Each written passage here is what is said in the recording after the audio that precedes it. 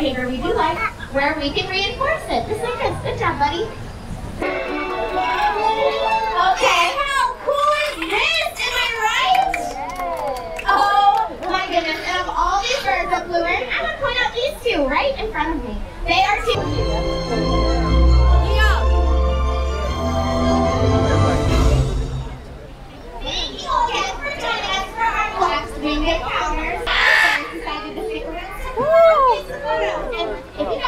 Footage of our show, we want to see it. Post it on social media and use the hashtag. Alright, let's just go back. Come on. If you have fun to say, whatever you do, enjoy your day here at Animal Kingdom and have a good day. Hay unos canguros ahí que recién se cruzaron corriendo. Son hermosos. Pasa que están como atrás de unos árboles y no, no se ven en la cámara. Pero están corriendo por ahí. Son re lindos. Oh. Y nada, recién vi a los loros y el show este de que entran volando, muy emocionante. Dura cinco minutos, pero es muy emocionante. Y bueno, es acá en el árbol de la vida. Ay, recién me pasan los loros por arriba de la cabeza. Ah, cómo no lo filmé. Estoy viendo si pasa algún otro, no, ya se fueron todos. Están ahí arriba ahora los loros.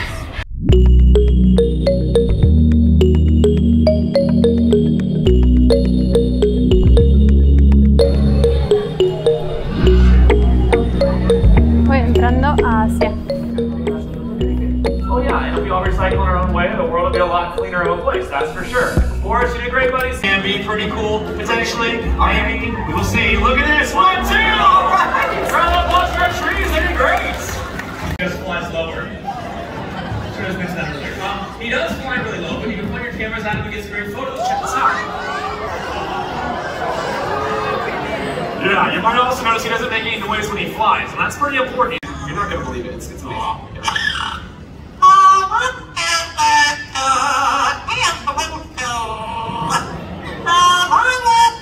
And it's massive. It's huge. And these birds are also really, really huge in their purpose. What they do out in nature is so important. What they do is they come across the carcass. That started to happen. People took notice and they took action. They cleaned up waterways where bald eagles were fishing, and they stopped using a chemical pesticide called DDT, which is one of the major reasons for their decline. Right, and, the best part about all of that is that people like all of us made a huge difference for these birds by cleaning up the environment that they were living in, and we brought them back from the brink of extinction. It's. A prime example. That is Flint, a blue-throated macaw. Okay, this is actually a pretty special treat. Blue-throated macaws. They are some of the rarest species of macaws you can find on the entire planet today. They're only found in a small part of Bolivia, and unfortunately, there are less than 300 of them left out there. So on behalf of all of us here, including our feathered friends like this guy, we'd like to leave you with one final wish. May your hearts take flight, and your spirits soar forever. Namaste.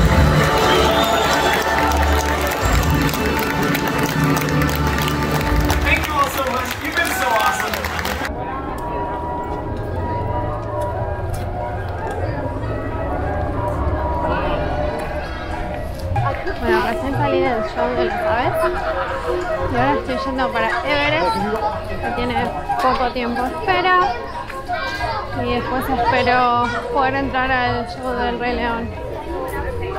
Hay muchísima gente y no pude conseguir reserva porque nada, se agotó.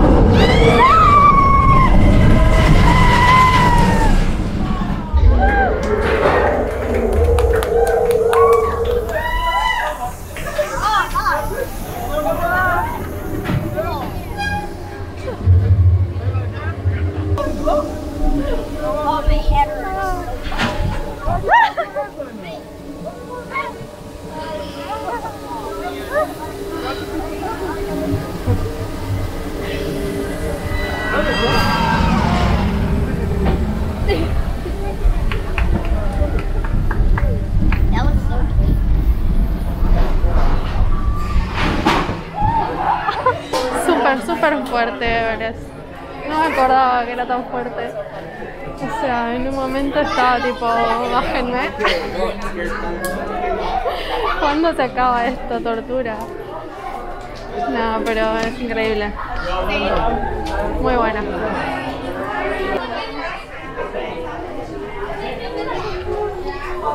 Mira. En un momento cuando te tira para atrás, o sea, va todo para atrás, para arriba. No sé, no sé qué hace, es algo raro. Yo no sé si te, te pone un poco de cabeza o casi. Ok, pero es una sensación rarísima. Esa parte es muy extraña. Y después acelera fuertísimo, fuertísimo. O sea, digo que no sé qué hace porque es todo en la oscuridad. O sea, toda esa parte es adentro de la montaña con el jetty y no se ve nada, tipo, no tenés ni idea qué va a pasar. Está todo oscuro, todo oscuro. Así que por eso es muy difícil entender qué carajo está pasando. Yo un poco necesito eso para las montañas rusas. Necesito no saber qué va a pasar. Que sea todo adentro, todo cerrado. Si es oscuro, mejor. Eh, porque si lo veo desde afuera, como me pasó ayer en la Velocicoaster, no me quiero subir.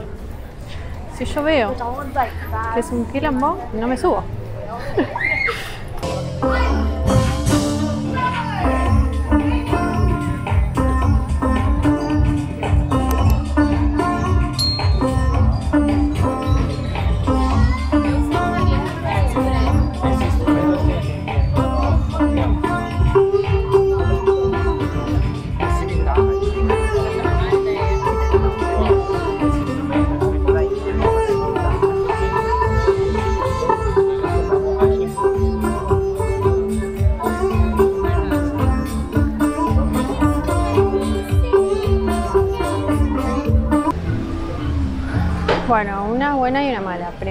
No llegué a ver el show del Lion King. Eh, porque Everest decía que tenía 35 minutos de espera, pero fueron como 50. A ver, era un descontrol la fila y no sé por qué pusieron 35 minutos de espera. Era obvio que no, que no era. Bueno, y la buena es que conseguí un heladito para compensar. Este es el helado eh, de Mickey, también especial del 50 aniversario, que también tiene los colores del 50 aniversario. Ya se me cae todo. Bueno, me senté acá al lado del árbol de la vida, un heladito. Y nada, me voy a quedar acá un rato descansando. Bueno, esto sucedió. Como que me comí la parte izquierda y el resto se me cayó. Tuki. Adiós, Mickey. Bueno, igual me lo comí, ¿eh? Acá nada se desperdicia. Pero ya saben, coman a su Mickey equilibradamente. Que se desarma.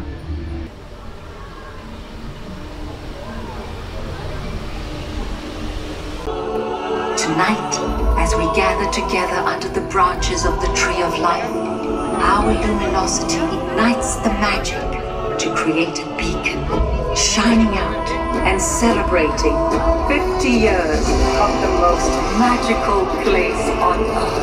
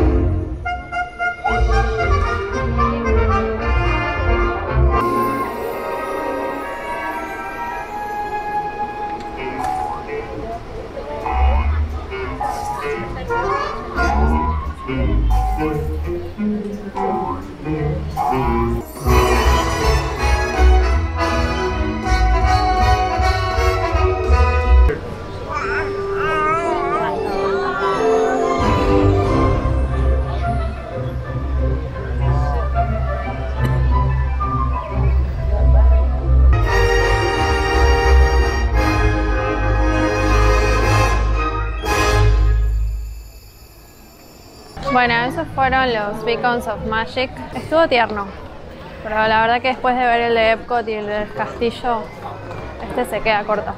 Igual, eh, más allá de que esto es el 50 aniversario, es como una versión especial por las fiestas también, porque es como que el árbol queda todo nevado y caen copitos de nieve, así que... Bueno, y ahora voy a entrar a una atracción que está acá al lado, que es de bichos.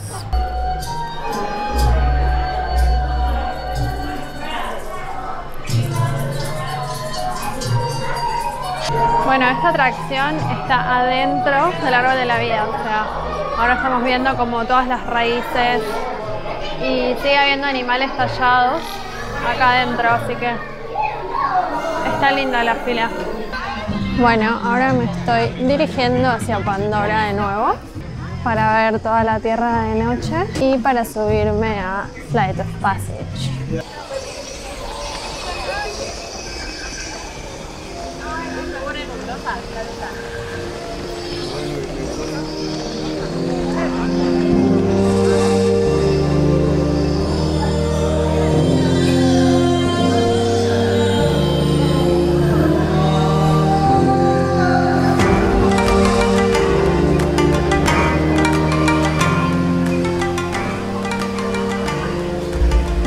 Imagínense que ya me perdí de día acá, ahora de noche mucho más complicado.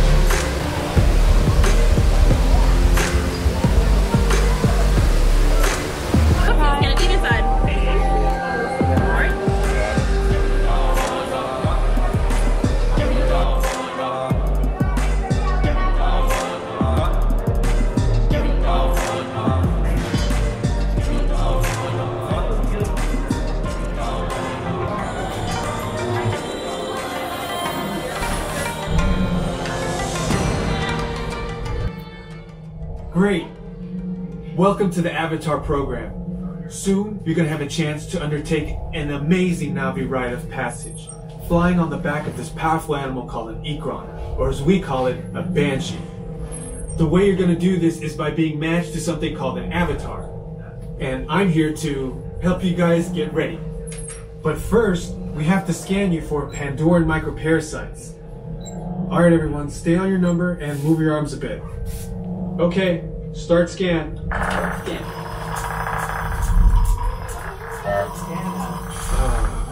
You've all got them. You're doing great. Almost done here. We're all clear. Great. Now let's go over how all this works. Like I said before, you're going to be matched to these things called avatars, which look a lot like the Navi. They're created by blending human DNA and Navi DNA. Once we match you to an avatar, thanks to a special link chair, your mind will be able to control that avatar. Using avatars to fly this way was all figured out by my boss, Dr. Jackie Ogden.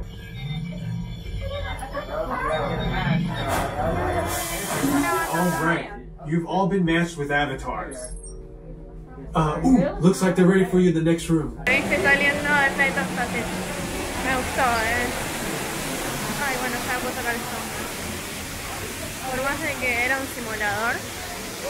Eh. Nada, era lindo porque como que volabas tranquilito.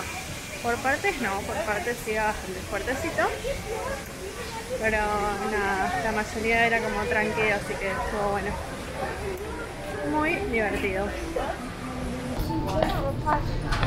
Bueno, vamos a ver toda la tienda de Pandora. Miren qué ternura. That's, that's the only one. That's the only one.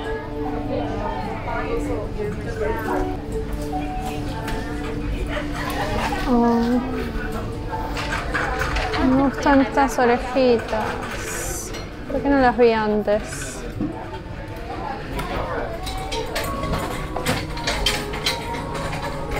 Soy un Navi. ¿Y estas? Ay, estas son hermosas. Tengo que esconder mi oreja real.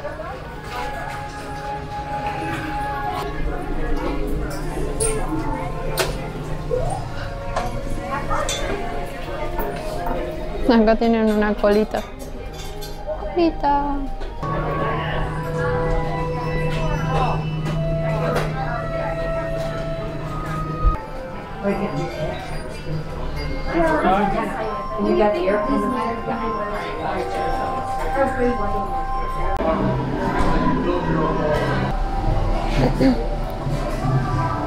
Miren, este es el lugar para comer de Pandora. Está lindo.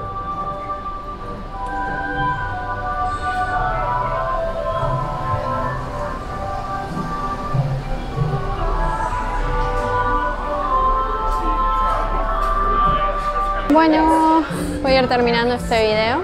Un día movidito en Animal Kingdom. Eh, bueno, y mañana es el último día en Disney. Era Magic Kingdom. Ya estoy un poco agotada. Pero es todo hermoso y lo estoy disfrutando un montón. Así que bueno, dejo este video acá. Gracias por verlo y nos vemos en el próximo. Adiós.